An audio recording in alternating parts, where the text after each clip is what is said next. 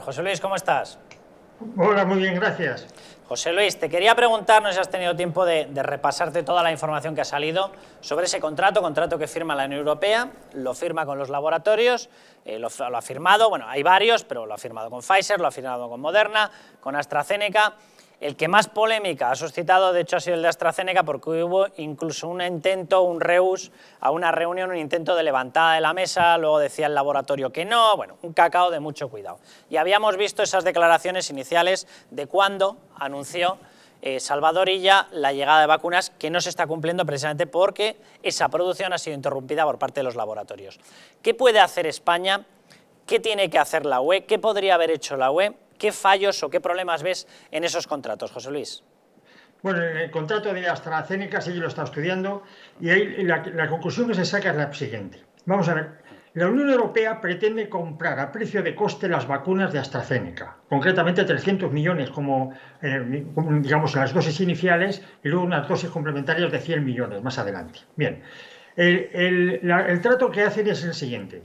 AstraZeneca renuncia a conseguir dividendos, es decir, a conseguir beneficios por todas las vacunas que vende Europa, y Europa renuncia a la exclusividad y al tiempo. Es decir, Europa tenía que haber firmado un contrato diciendo, eh, si, me traes X vacunas antes del 31 de enero, te las pago al precio de coste más un 100%, pues, eh, digamos, de beneficios. Si me lo traes antes del 31 de febrero, ya te lo rebajo en vez de 100% de, de, beneficios sobre el precio de coste al 50%, y así sucesivamente. De tal manera que obligas a AstraZeneca a traerte las vacunas eh, lo antes posible para ganar más dinero.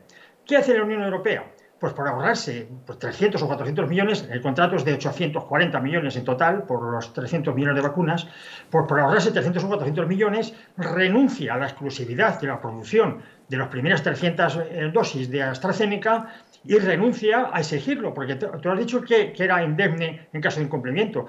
En el punto 15.2 del contrato establece que la Unión Europea libera de responsabilidad a AstraZeneca y a todos sus empleados por las reclamaciones de la propia comisión por incumplimiento del contrato, aunque sea por negligencia, incluida la negligencia. Y no solo eso. En el punto 14.1 del, del contrato establece que los Estados miembros de la Unión eh, indemnizarán en lugar de AstraZeneca a cualquier eh, muerte o, eh, digamos, cualquier incapacitación, ruina de negocio, etcétera, que puedan producir estas vacunas. Es decir, AstraZeneca, ¿qué ha comprado? Ha comprado dos cosas. Ha comprado la financiación y ha comprado la indemnidad.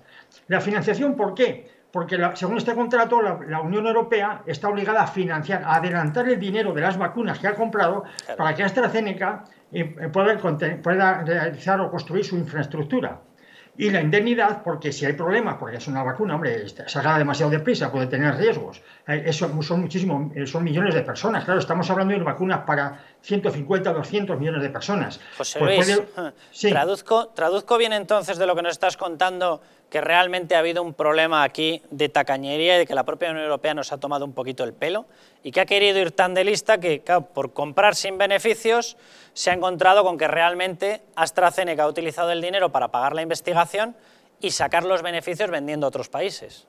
Bueno, AstraZeneca ha utilizado la, financiación de la Unión Europea para construir eh, unidades de producción, según eh, declara su propio gerente, el propio gerente de AstraZeneca, de miles de millones de vacunas. Europa solo ha comprado 300 millones, pero la, infraestructura es de miles de millones de vacunas, según confiesa él. AstraZeneca es una empresa que, factura al año treinta y tantos mil millones de euros. No podemos pensar que te puedes sentar frente a él y, no ganar nada, como ha, pensado la Unión Europea. Oye, te lo compramos a precio de coste. Eso es absurdo. AstraZeneca tiene que sacar beneficios por algún lado. ¿Qué ha hecho? Utilizar el dinero que ha adelantado la Unión Europea para construir grandes unidades de producción y producir miles de dosis que eso sí lo va a vender a precio de mercado y no al precio de la Unión Europea. Claro, José Luis, y la, y la Unión Europea nos ha vendido que estábamos protegidos cuando en el fondo sabía, porque tontos tontos del todo no pueden ser, que se estaban poniendo a la cola de la producción. Bueno, para hacernos una idea de lo que ha hecho la Unión Europea, ojo, ¿eh? esto ha sido aprobado por los 27 países, uno, por, uno, por uno, incluido España. Tuvieron cinco días para impugnar el contrato y tanto Iglesias como, como Pedro Sánchez consideraron oportuno ahorrarse unos millones de euros a cambio de no, no comprar tiempo. Aquí lo caro era el tiempo, no comprar tiempo para cortar la epidemia y no comprar exclusividad. Esto, claro, va a traer consecuencias notables. Y para hacernos una idea de la barbaridad que han hecho, según el AREF, según la Autoridad eh, Tributaria Europea, España solamente en subvenciones que no, no, no cuantifican, es decir, no, no, no responden sobre su destino, las subvenciones que da el propio Estado español no responden sobre su destino, suman al año unos 14.000 millones de euros. Bueno, por la Unión Europea, por ahorrarse 100 o 200 millones de euros, ha hecho esta barbaridad. Esta barbaridad va a costar un montón, decenas de miles de vidas, más miles de millones de euros en cuanto a, empresas que quiebran y paro que se produce. Claro, es pobreza y muerte.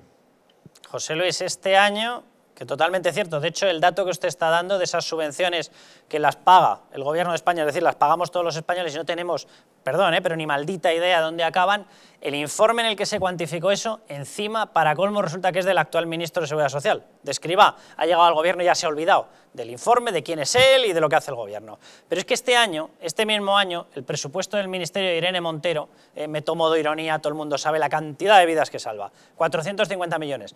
Por lo que me está diciendo, desde luego con 450 millones, España podría haber negociado de forma individual con los laboratorios y haberse garantizado un lote de vacunas, claro. Bueno, eh, de los 14.000 millones que he dicho antes de, que, no están justificados en las subvenciones, muchos de ellos son de la Unión Europea. Y España tiene, tiene la, este contrato, una de las cosas, una de las características que tiene es que no tiene exclusividad y permite a los Estados miembros formalizar otro contrato con AstraZeneca a precio de mercado para surtir con rapidez de vacunas a su, a su gente, porque el contrato este lo que ha comprado, lo que no ha comprado es tiempo, es decir, se ponen a la cola.